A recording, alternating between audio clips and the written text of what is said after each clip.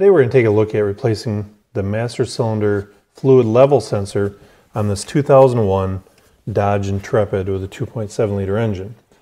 Now, as you might imagine, this is actually located inside the master cylinder.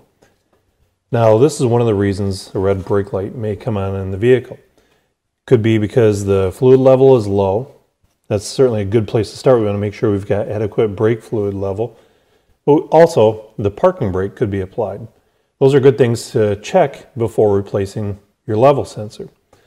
Or the level sensor itself could be faulty.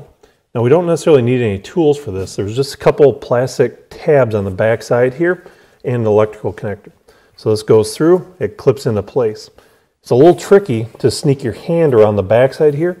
So some people might like to use a little bit of a screwdriver or a hose pick type tool to pull that apart. I'm gonna try it with my fingers first I can reach around the back side, get my fingers on the tab, and then I'm going to leave the electrical connector in place. It gives me something a little bit better to grab onto here.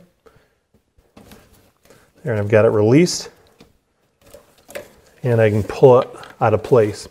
Now this doesn't actually come in contact with any brake fluid, so we don't have to worry about any leaks at this time. So I can disconnect my old one. Might even be easier to connect my new one, plug it into place. I'm gonna have to go back over here,